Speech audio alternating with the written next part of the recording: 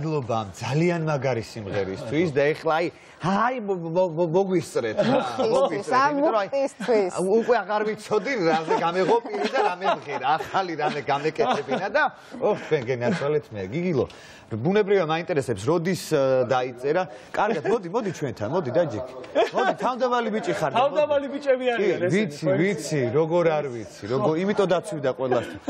ხო და ვისი იდეა იყო პირველ რიგში? აი რა მოიტანა, რა სულისკვეთება მოიტანა ეს? პრინციპში დიდი ხანი არ გვღერია საქართველოს სულ რაღაც ეს ბოლო პერიოდი ისეთ ჩვენ პირად რაღაცებზე ხო, ჩვენ პირად რაღაც გზნობებზე ვღერით და პრინციპში პრინციპში პირადი გზნობაა საქართველოს სიყვარული, რომელიც ყოველს გვაქვს და დიდი ხანი გვინდოდა რაღაცა გაგვეკეთებინა საქართველოს. და რომელიც არის ძალიან რთული, იმიტომ რომ რთულია იმღერო შენს ქვეყანაზე, რთულია იმღერო საქართველოსზე, იმიტომ რომ სხვა პასუხისგებლობა. სხვა პასუხისგებლობაა და რაღაცაერი გვინდოდა გაგვეკეთებინა თბილი სიმღერა და ამასობაში რომ დავიწყეთ ეს სიმღერაზე მუშაობა და რომ გავაკეთეთ სიმღერა მოგვისწრო ამ ამბავმა რომელიც აი ეს საქართველოს და მიუძღვენით მიუძღვენით საქართველოს რანაირად აი რანაირად ახერხებთ რომ თქვენი სიმღერები იყოს თან ესეთი სევდიანი თან ესეთი ოპტიმისტური.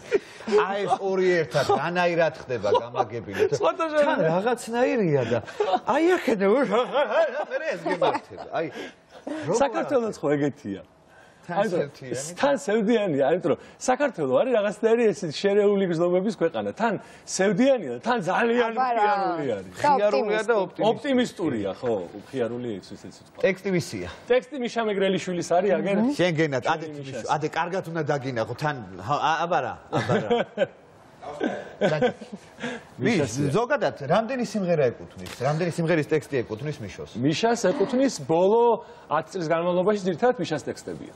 ხო, იმიტომ რომ მე მიშო განსაკუთრებით და შენ ხო როგორც არტისტები ისე გიცნობთ რა და ტექსტის წერასაც რო დაგაწყებინებს, ჰა, ჰა, ჰა.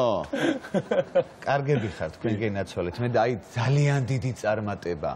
მთელი ცხოვრება მინდა რომ ვიამაყო თქვენით ისე როგორც გაგიცანი და ისე როგორც ვამაყობ მთელი ცხოვრება და ყოველთვის ძალიან ახლოს ხართ ადამიანებთან. ყოველთვის ახლოს ხართ იმ პულსაციას და რაც არის ხოლმე რა და ეს ეს მგონია რომ ყველაზე მნიშვნელოვანია შემოქმედი ადამიანები. იცი რა მუხტი რომელიც მოდის და დღეს 8 საათამდე უნდა ჩავთოთ ეს სიმღერა გუსმინოთ და 8 საათზე უკვე ყველანი ერთი დღესია მთელი ცხოვრება უნდა უსმინოთ ტელეეკრანებს და უყუროთ. გულშემატკივრობთ ჩვენს ნაკრებს სად გეკმოთ ყურებას. სხვათა შორის აი დღეს მაგაზე ვსაუბრობდით სად ალბათ სახლში.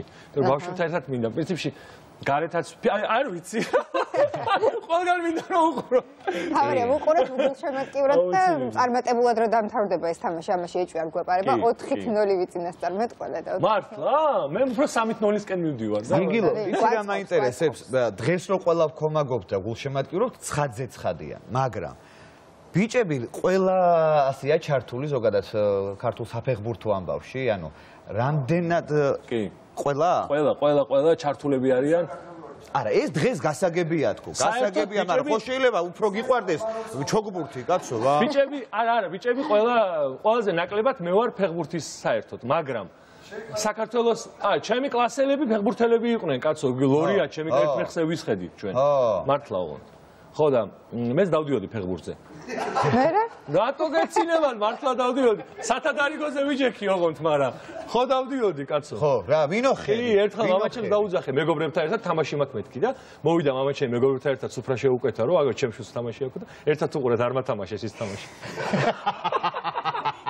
ეგ იყო ჩემი ბოლო ფეხბურთის მატჩი. ყველა ისხედი. მე როცათან მივედი და ერთხელ მაინც გამიყვანე, მე ვუთხარ მამაჩემ სუფრა შეკვეთა. ზვაკაცებთ ერთი ბოს უბრალოდ გამიყვანე რომ ბურთს ფეხი დავარტყა და გამაგორები. არ გამიყვანა შენ არაო, შენგან არაფერი არ გამოვაო და ესე. იცი რა, ყველაფერს აქვს თავისი დრო. სა კარგი ალბათ იქ რო არ გაგიყვანა, იმიტომაც ხარ გიგი დედალამაზიშვილი, იმიტომაც ხარ გზავრები და იმიტომაც ხმით ესეთ ფასეულ და ძალიან მაგარ პროდუქტს. ალბათ ასეც უნდა ყოფილიყო რა. ხო, მე ძალიან კმაყოფილი ვარ ყოველ შემთხვევაში და ამაყი. აი ასე. კიდე ერთხელ გამართული ვარ ბეჭები. იცი რა, ვერ გაგიშვებ სამომავლო გეგმებზე რო არ გკითხოთ. აბა რას გეგმები? ეს კლიპი რაც გამოუშვით ეს არის გუშინ გამოვიდა. კონცერტებს გეგმავთ საქართველოსში ბათუმში გვექნება 13 ივლისის მონოჰოლში კონცერტი. შემდეგ გვაქვს ტურნე ამერიკაში ოჰო. და კანადაში ეს არის სექტემბერში და მაგისთვის ვემზადებით ძალიან 9 ქალაქი არის. 6 ქალაქი ამერიკა 3 ქალაქი კანადა და ძალიან ძალიან ვემზადებით სრული შემადგენლობით. სრული შემადგენლობით კი. ოჯახებით მიდი ოჯახებით არა, არა, არა. კი, აიყო ამის ცდელობა, მაგრამ გასაგები. გასაგები. წარმატება. ამერიკაში, კანადაში, სადაც ფეხი არ უნდა ჩადგათ, ყველგან წარმატება თქვენ. მადლობა მეგობრებო, კიდევ ერთხელ ხო მაყურებელს ალბათ ხო არ აღარ გაუკვირდება ჩვენი ურთიერთობა, რა ვქნა.